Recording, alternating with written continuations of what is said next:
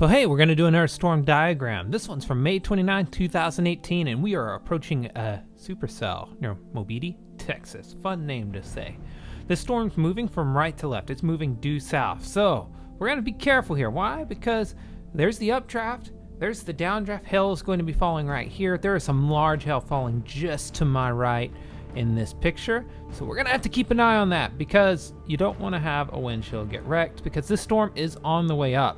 You can see the air, lowered area there underneath this updraft. That's going to become a wall cloud eventually. Right now it's just scud condensing and lifting upwards into the updraft. Another thing I would like to note uh, that I you know I find very interesting about this particular moment of the storm.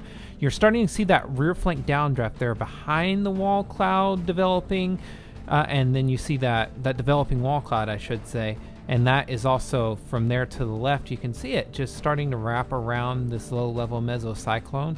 So as you're seeing that plus this developing wall cloud take shape, very important. There's no, you're seeing some rotation with that lowered area, but it's not that concentrated yet. But this is to the point you gotta really pay attention. Let's zoom in.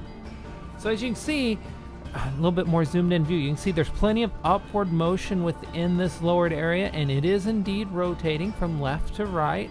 You can see that counterclockwise rotation. Storm itself is also moving from right to left, and this is too moving from right to left. Again, though, it's ragged, it's not that organized just yet.